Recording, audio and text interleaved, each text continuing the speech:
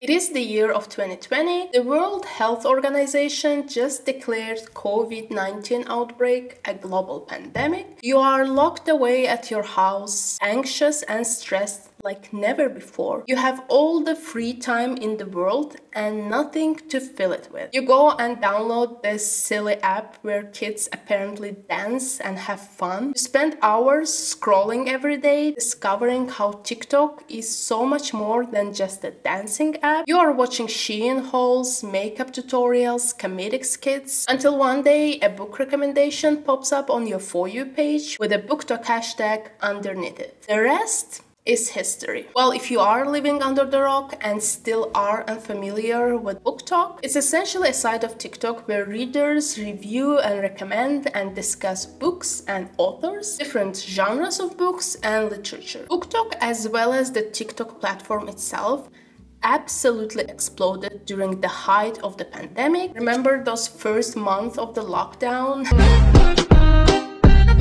Yeah, what a time, right? The humongous impact it has had on the industry is still so prevalent, even though it has been more than four years. I think it's undeniable that BookTok came in as a wrecking ball and changed what we read, how much we read. It changed the ways we consume books and the ways we talk about them. It absolutely changed the way books get published and advertised. But most importantly, it changed the way we now see and perceive reading, this inherently intellectual activity. And all this is what I essentially want to discuss with you today because in my mind there is a definite divide between bookish communities and conversations around books pre-lockdown and after it. So let us look at this a bit closer and discuss the rise of BookTok, if you will. All the positives and negatives BookTok has brought us, things people cannot stop criticizing BookTok for. Has it really ruined reading?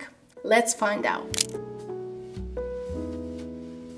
Now, I want to first answer the question why BookTok? What is it about this platform specifically that has garnered such immense influence? And if you need a reminder or just a quick recap of how truly influential BookTok is, well, here you go. Since the year of 2020, which coincides with the rise of the popularity of TikTok platform, BookTok has been directly responsible for millions of book sales. Any account the revival of physical book sales to TikTok, bookshops are now more alive than ever. And to show their gratitude, they now curate their book stands according to what is most popular on the app. Platform is responsible for resurrecting some of the older books, such as Song of Achilles or We Were liars and putting them on the radar again. Some books and authors, like it or not, have been turned into cultural phenomena by BookTok, like It Ends With Us or ACOTAR, so much so that you have to at least know something about these books to understand the inside jokes and almost be a part of current cultural conversations. And I can go on and on and on about the impact BookTok has had and I'm gonna circle back to it later in this video as well. But for now, I think we can all agree that no social media platform has had such a massive impact on reading communities and have influenced the sales of books like BookTok did. Sure, book communities have existed on the internet well before TikTok. The most popular ones, BookTube, where we are right now, and Bookstagram made headway between 2010 and 2015. But come on, they were never as huge as BookTok is right now, and their sphere of influence was so much more limited in comparison. I was never that immersed into Bookstagram, but I have been watching Booktube for years and I can confidently say that it was always more of a niche community, especially compared to something like makeup, fashion, gaming communities, you name it, where creators were able to amass millions of subscribers and reach millions of views. It just was not the same for bookish side of YouTube. Back in the day, if a book creator had 100,000 followers, they were already considered huge. And even then,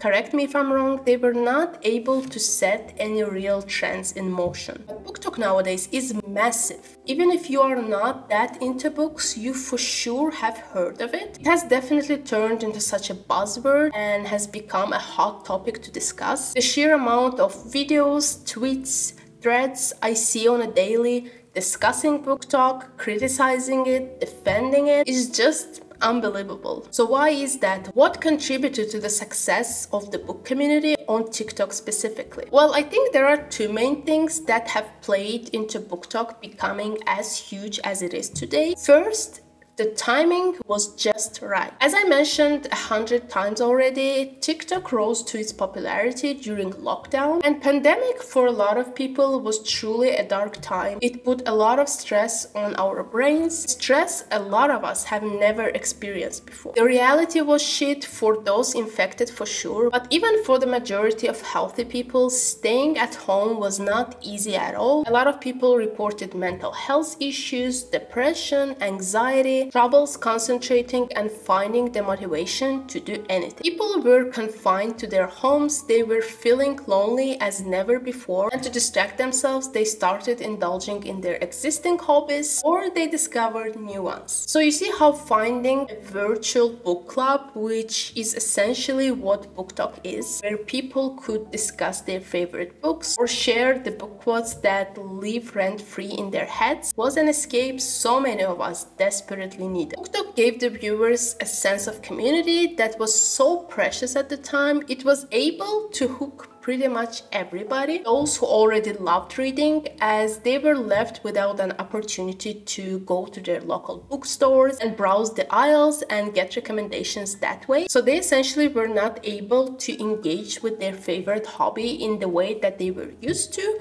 So BookTok helped. BookTok also got those who used to read a lot, but for some reason completely forgot about it um, hello. And it got those who never read as well because they previously thought that reading was something challenging or intimidating or boring and BookTok showed them that it really isn't. Basically, for any of those groups of people, BookTok had something to suggest and it turned into a place where you can get recommendations from just regular people like yourself. You were able to see their faces and feel their excitement for books. So this timing of the lockdown where our only connection to each other was our phone screens was truly truly crucial for the success of BookTok. And reading, which if you think of it, is truly a solitary and introspective activity which requires you to focus on pages for hours and hours and have a decent attention span, ironically began to thrive on a platform which was known for its short-term content. And the second thing is the nature of the platform itself, the infamous TikTok algorithm. So the thing is, TikTok algorithm allows creators to reach audiences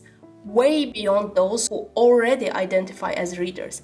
And I cannot emphasize enough how important that has been. Yes, sure, BookTok and Bookstagram communities existed and creators were doing fairly well there. But to find out about those communities, you almost had to actively search for them. To just stumble across a book video on YouTube was almost impossible. Whereas TikTok serves the content to you, its algorithm is able to identify and nurture even the slightest interest in books. And as soon as you save one book related video, you get fed tens and hundreds of others. And the more you watch and engage with the content, the deeper you are in BookTok. I can almost visualize how someone who hasn't been previously reading opens the app, sees a book with a pretty cover recommended to them, and checks the view count and finds out that this video has millions of views, opens the comment section and sees how people are debating and discussing and joking about this book and all of a sudden they are influenced to go and pick this book up as well. Because otherwise the FOMO the fear of missing out is just too overwhelming. And there is also an abundance of book content because I've said it once and I'll say it again. BookTok is so much easier to enter than any other social media platform. All you need to have is just your phone and something to say and you can go ahead and create your video and recommend your favorite books. Whereas for YouTube, the barriers nowadays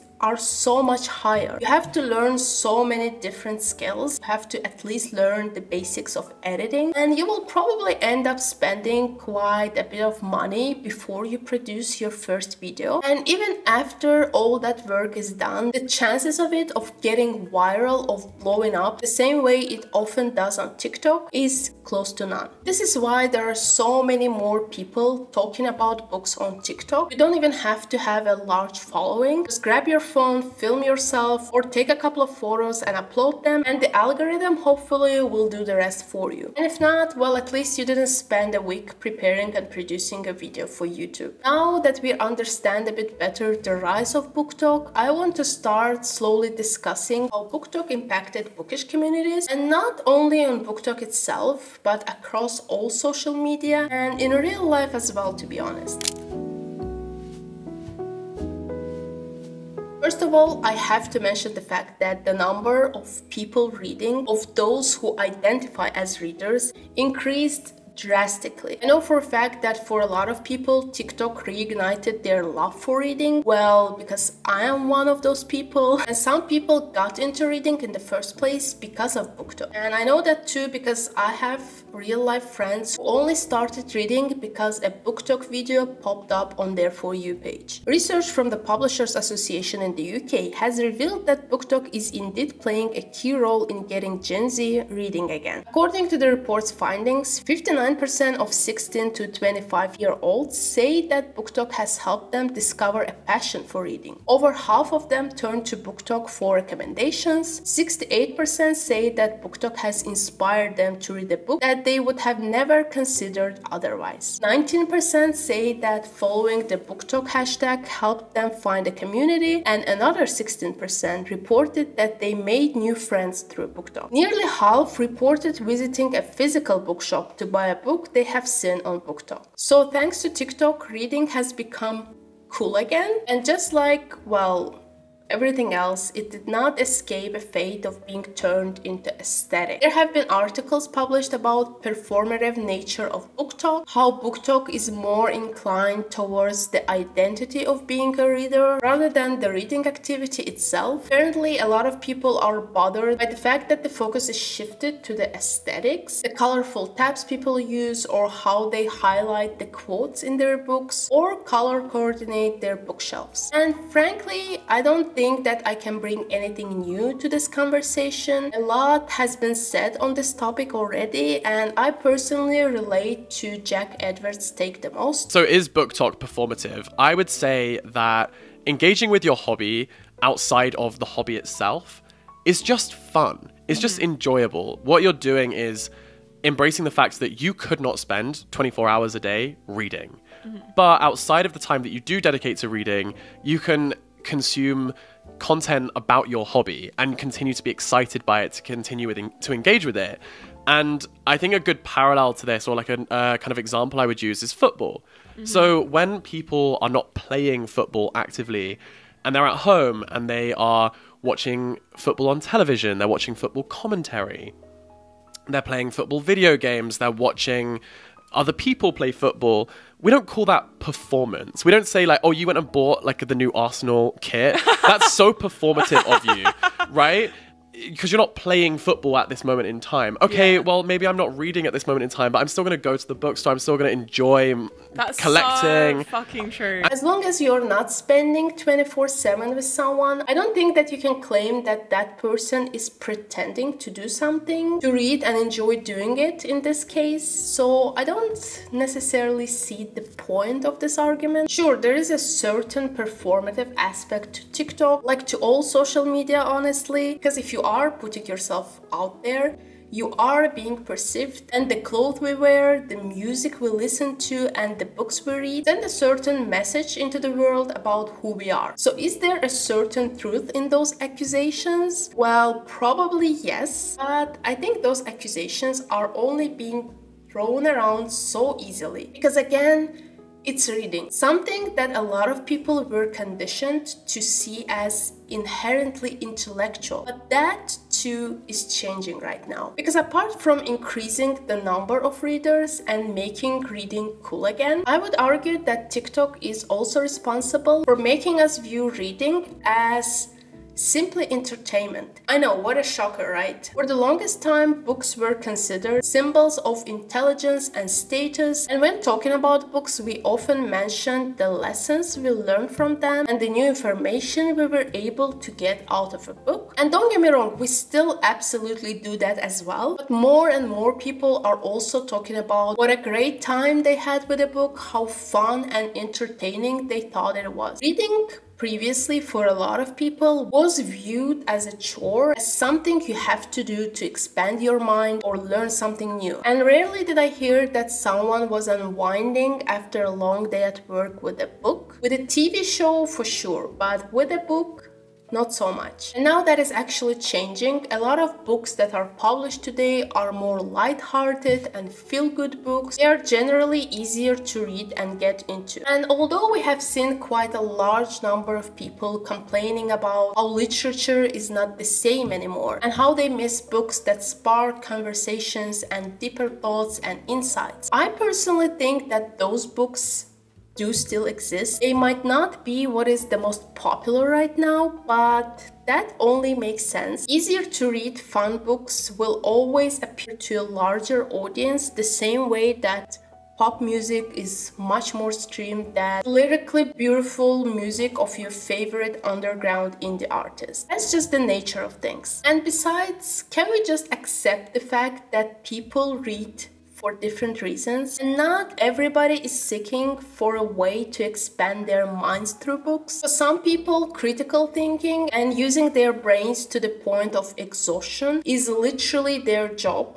So they're not looking for the exact same in their books as well. They just want to read for fun. And there is nothing wrong with that. And I also think that nowadays we sometimes forget that literature is not the only way to learn something new. I know plenty of people who almost never read, yet they are smart, knowledgeable, critical thinkers because books are not the only source of information. Not anymore. Besides considering the current state of the world, it's incredibly depressing to be thinking critically about everything that we consume. Recently, people tend to steer away from dystopian novels or war novels or gory thrillers, and I suspect that has something to do with the fact that our real lives have turned into actual dystopias that we were previously reading about. For many, a silly romance that you might look down upon can actually be a form of escapism and something that helps them to go through difficult times in their lives. So, for the love of God, let's stop gatekeeping reading and establishing the rules of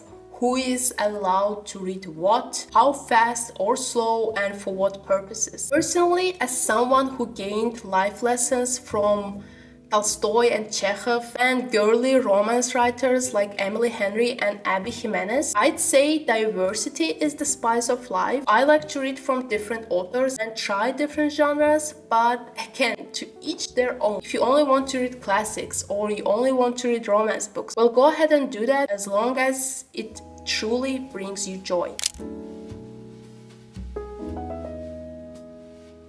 Now we arrive to the segment where I want to address how BookTok changed the way we talk about books and discuss them because that truly changed quite a bit. If pre-BookTok era we were talking about books like this. This follows our main character Ophelia who kind of is lives an ordinary life. No one really pays attention to her and that's kind of how she wants to live. She's viewed as an oddity in her town, but she's fine with that. She has her general daily duties and she doesn't want to deviate from that in any way. Ophelia does have a set of very unique powers though. She has the ability to basically touch artifacts and absorb their history and know their origin. Now we mostly talk about them like this. It's slow burn enemies to lovers, but like done super well. The enemies, because they mess around with each other at work, like they're not you know, like it's more like workplace enemies kind of, but done super well. Not cringy, not like forced. They just don't really get along. And then it's like two kind of friends, two lovers. It's it's it's so so, so, so good. I actually came across this article titled Is BookTok Changing the Way We Talk About Books? Question mark. It will of course be linked down below. And this article helped me immensely to organize my own thoughts regarding this topic. So I will use the structure of it, but provide my own thoughts and commentary and examples and things like that. So I'm sure that you have noticed that no one wants to hear the synopsis of the book anymore. Books nowadays are often described described in terms of the tropes they contain. And not only on TikTok, the same way of describing books as a sum of tropes has taken over YouTube and Bookstagram as well. And if you are unfamiliar with the word trope, the definition of it goes like this. The word trope can refer to any type of figure of speech, theme, image, character, or plot element that is used many times. So for something to be considered a trope, it must be used multiple times. In movies, for instance, a ticking clock is an example of trope that works every single time. Harry.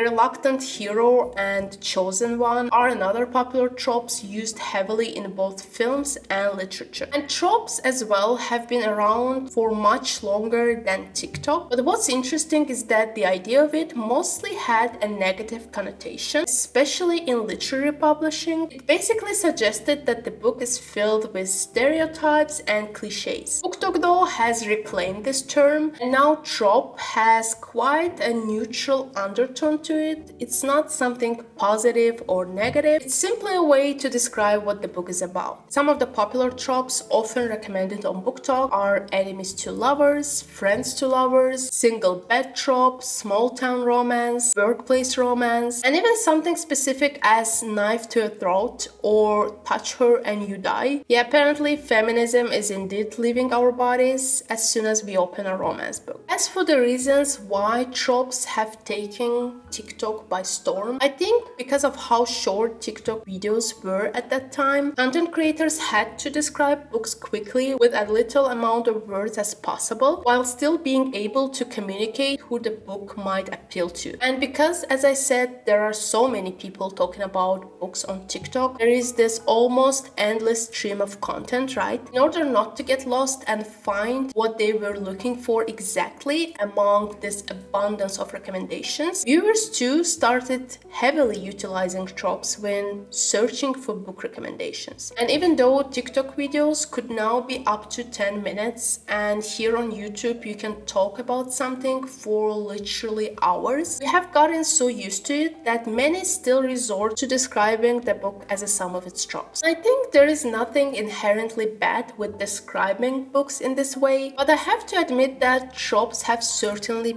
become so huge that oftentimes you grab a book and you can almost feel like the author just put as many popular tropes in it as possible without really thinking whether those tropes fit the characters or the narrative or the plot itself. And it makes the book so flat because the characters in it almost have no personalities. Everything just revolves around a couple of tropes present in it. The thing is, tropes have been super prevalent in fanfiction for years and there they work perfectly fine because you're reading about the characters you already know and love. You know all about their flaws or character virtues. Like you don't need a whole backstory to who Draco and Hermione are in order to read a Dramione fanfiction. You know what I mean? And I feel like some authors forget that. They forget that they are the ones who need to actually build the story, to show us their characters, to create the chemistry and make us root for the characters characters and care about them. And I hate to break it to you, but the book you're writing should be able to stand on its own, not just be a sum of popular TikTok tropes. So yeah, that's kind of my main issue with tropes. Otherwise,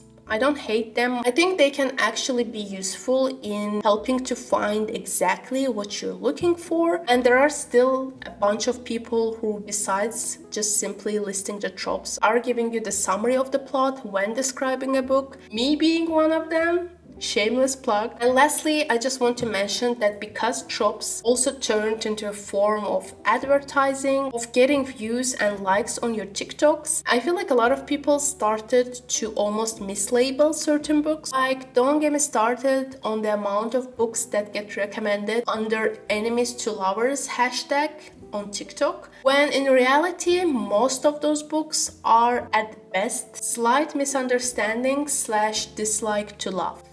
And again, rather than describing a plot of the book, we started talking more and more about how the book made us feel when we were reading it. It seems like the genre or the newness of the novel does not matter as much as whether you giggled, kicked your feet, cried, or got traumatized by it. The emotional journey that the book might offer is now much more important than any knowledge or life lessons we might get from it. And this trend is again can be traced right back to TikTok, where books that can get you cry or scream or sob get recommended constantly. What can I say? TikTok loves a strong ass emotion. Most viral videos on the platform are those where someone is whipping or tossing a copy of their book across the room.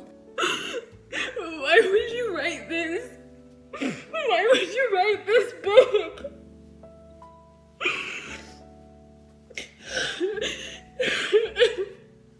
And TikTok isn't it the first social media platform where people are so open to talk about their feelings and discuss their trauma. Like TikTok, maybe not so much now anymore, but back in 2020 2021 was seen as a platform that values authenticity more than anything else. Study also shows that TikTok is a place where users feel free to be themselves. Globally, an average of 64% of TikTok users say they can be their true selves on TikTok while an average of 56% of TikTok users say they can post videos they wouldn't post elsewhere. Not only do users feel like they can be themselves, they also trust others to be authentic and genuine as well. Globally, an average of 53% of TikTok users say they trust others to be their real selves on TikTok. And I think this is kind of true. Like, for some reason, posting something on Instagram recently feels so much more embarrassing and icky than posting something on TikTok, and I have seen similar opinions from others as well. Can we talk about how cringe it is to post an Instagram photo? I'm a social media manager. I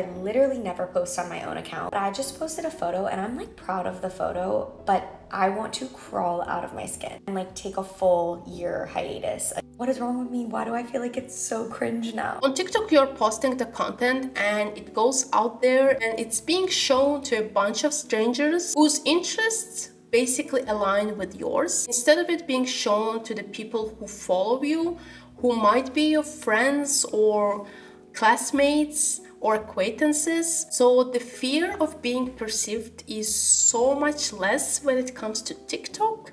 I don't know. Do you feel the same way or it's just me? Let me know. But back to our topic. Because true and hidden emotions lead to millions of views, this inevitably generates a trend and the virality prospect makes other creators imitate it as well, if not by filming themselves literally crying, but at least shifting their way they talk to focus more on the emotions that books are eliciting from them. And again, I'm not saying that no one did it before. Like no one has ever said this book made me cry or it made me giggle. Like of course not. It's just now this trend of talking about books in terms of it being an emotional journey is more prominent and more and more people are typing books that made me cry, books that gave me butterflies in their search bars across different social media platforms. The last thing I want to mention here is how more and more people are now searching for extra specific book recommendations. So not only people want to feel something when they're reading, they also want to feel something specific. A lot of people will come in and know exactly what they want. Whether it's because of the hyper specification of TikTok's algorithm figuring out quickly what a reader likes or the sheer volume of videos they scroll through that helps them target their taste. Readers know what they like and they want more. And I agree with this fully. I think because of how uniquely tailored the book content is, readers are getting used to being served something that matches their exact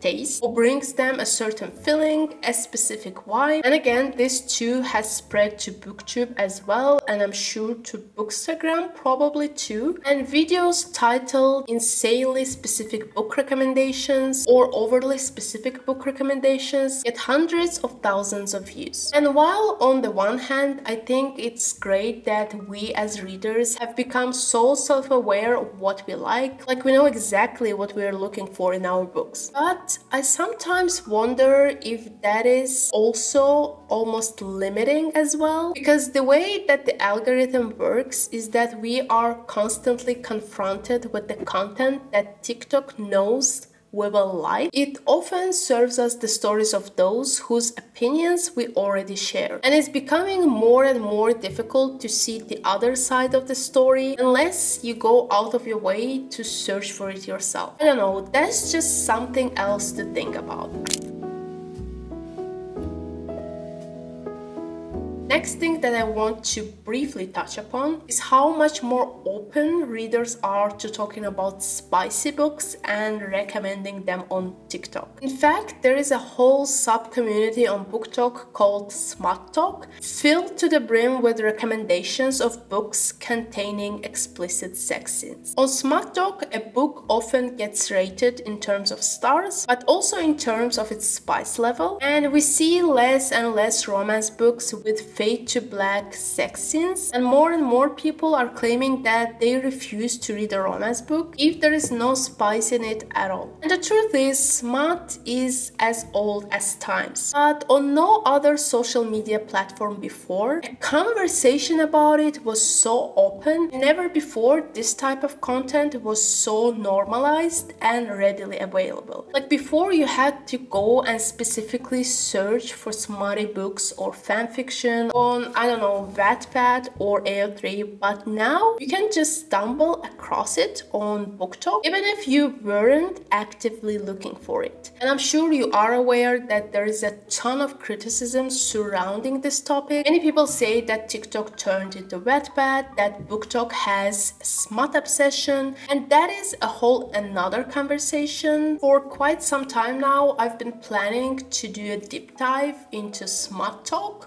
so stay tuned for that. In this video, I just wanted to basically mention it in two words to say that a desire to seek for explicit content in books and consume it is definitely something that BookTok heavily amplified and Smut has turned into something that gets brought up every time someone is talking about books, romance books specifically, and bookish communities. Well, another thing, if book communities before were rather unproblematic problematic. That has changed recently too. Like the amount of scandals and drama that have happened last year alone is quite honestly concerning. Like, what was it? The hockey BookTok scandal, and one of the NFL players was constantly harassed and sexualized by certain book creators and just generally by BookTok users. So much so that his wife had to come out and make a statement asking to put a stop to it. And there was the BikerTok drama. And BookTok decided that men on BikerTok who just, you know, post about their motorcycles match the vibe and aesthetic of some of popular dark romance books. And then it escalated quickly into a 16 year old biker getting recommended books filled with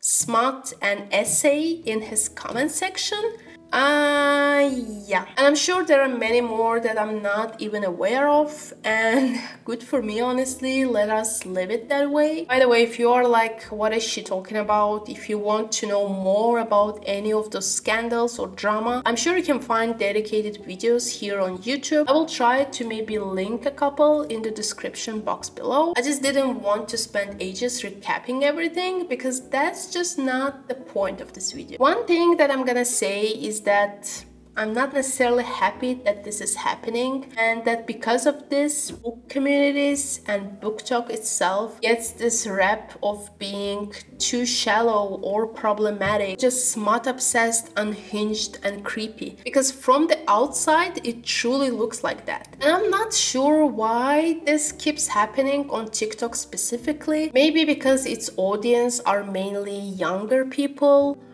or is it because of that? I don't want to generalize either. Or maybe because it's easier for different communities to find each other on TikTok. Like BookTok site can easily reach BikerTok as we've seen. Or it can intersect with HockeyTok. And the lines get all blurry I don't know. Just believe me when I say that this drama and scandals stem from a very small group of booktokers who just happen to be very vocal about their feelings and the majority of BookTok are just people who are there to read books, discuss them and recommend them to others without harassing anyone. Next, I want to also discuss the topic of BookTok and diversity. I personally think that BookTok has the most diverse book recommendations that we have ever seen in book communities. And before you come for me, let me explain, alright? Because this is a complex topic and I will try to look at it from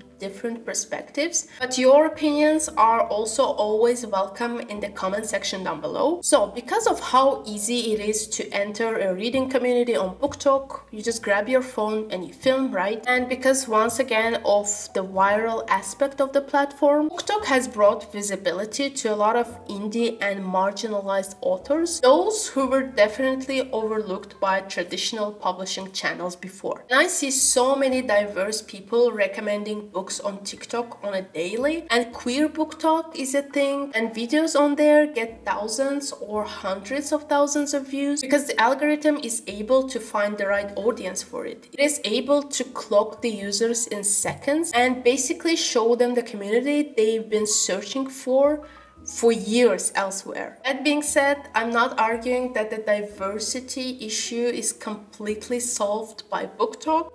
Certainly not. Though it has definitely given voices to lesser known authors, the most popular books and authors on the platform are still white romance novels and authors such as Sarah J. Maas, Colleen Hoover, or Ali Hazelwood. So while BookTok does feature a diverse array of books, maybe more diverse that we have ever seen before, sometimes those do not gain as much visibility because of the algorithmic preferences. I know people love to blame algorithms. Oh, YouTube algorithm did me dirty or TikTok algorithm doesn't want to show my videos to anyone. And yeah, while I understand the complaint, uh, well, as a creator myself, believe me that I do. But algorithms on any platform tend to cater to general audience. Like if no one wanted to click on your YouTube video or if 100 people scrolled right past your TikTok as soon as it appeared on their For You page, of course the algorithm will not continue to push your videos out. Because the ultimate aim is to keep you on the platform for as long as possible, the algorithm promotes the content that is already gaining traction that people choose to watch. So if anything, it just points a finger to ourselves because Algorithms, they tend to reflect human biases, and that is exactly what leads to underrepresentation of minorities. This article quotes Marines Alvarez. A lot of the problems with BookTok are mirrors of problems, not only in publishing, but what we've seen in absolutely every other book community. We've always had racist algorithms. We've always had the majority white publishing industry. These are publishing issues. So instead of complaining about evil BookTok algorithms, algorithm how it only promotes the same five books by the same couple of white authors. What each of us can do to change this is to promote black and queer authors and underrepresented voices in the industry by choosing to buy their books, talk about them and put them on the radar. I'm sure every one of you watching this video right now can grab a phone and make a TikTok talking about your favorite book or author that you feel is underrated yet brilliant. One creator here on YouTube that does a wonderful job promoting underrepresented voices is Jananie from This Story Ain't Over. As a white person myself, I take a lot of recommendations from her, so I would highly recommend checking her channel out. Leave your favorite YouTube, TikTok, Instagram book creators down in the comment section below. Let's just share the love and diversify our reading.